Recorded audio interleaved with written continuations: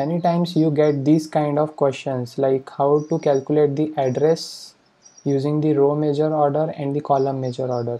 So here I have picked a formula for row major order okay? So here LOC array of ij so this is the address of this specific element. This is a row this is a column. I denotes row j denotes column okay? Base address is the base address of an array here nc denotes let me show you the formula actually. Base address nc denotes the number of columns in the main array okay? Whatever the array is the number of columns in that main array will denote the nc i is our ith location j is our jth column.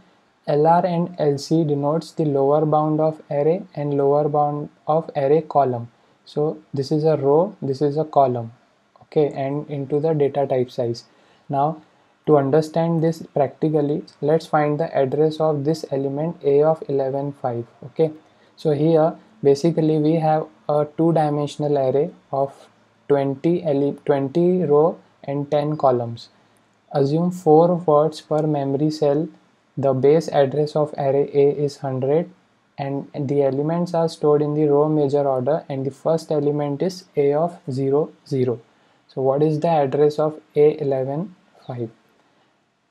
So how do you calculate the solution for this? From uh, all you have to find the values for these uh, notations and you can calculate it easily.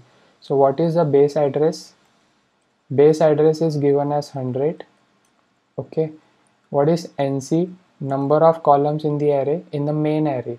So this is these are the rows and 10 are the columns. So NC is 10 here. Okay.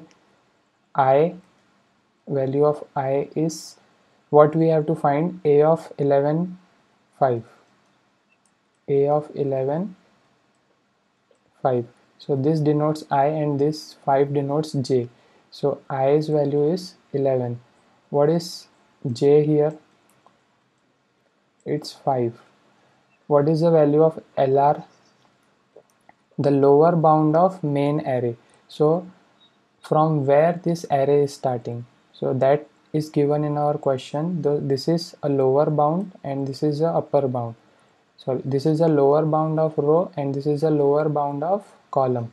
So lr is 0 here given and lc for column is also 0 here. So from where the base address is starting? And what is the data type size? 4 words per memory. So, so this is a string data type but it is taking 4 bytes. Okay so 1 into 4 so data type size will be 4 bytes. Okay now let's put this value. What we have to find? 11 5 is equal to what is the base address? It is 100 plus what is the value of nc 10 i's value is 11 here. Minus lower bound is 0 for row plus. What is the value of j here? It is 11 minus sorry what is the value of j here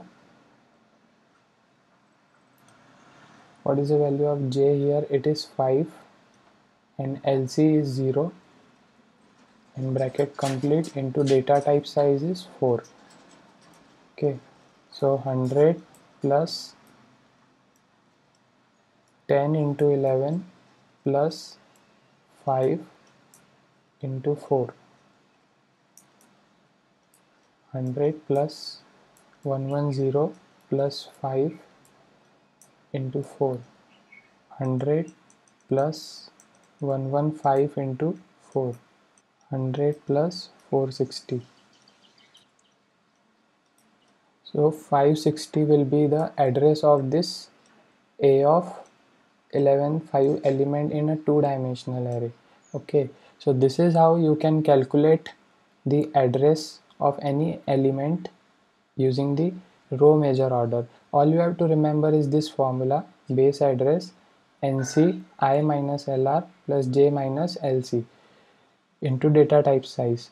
And the only difference between row major and column major here is in column major order there is a base address um, i minus lr which is lower bound for row and nc is replaced here and here nr is added. Okay that is the only difference between row major order and the column major order. As you can see in row major order here we have base address and here we have nc and in column major order here we have nr which is which is denoting the number of rows in the number of rows in the main array.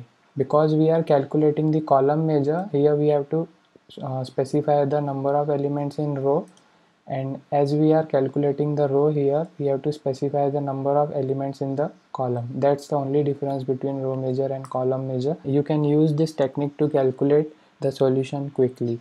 I hope you got the uh, concept here like how to calculate the address of any element. Consider subscribing if you really like the concept. And we used to upload many videos like this so you will never miss the updates. So that's it for today folks. Signing off manish methani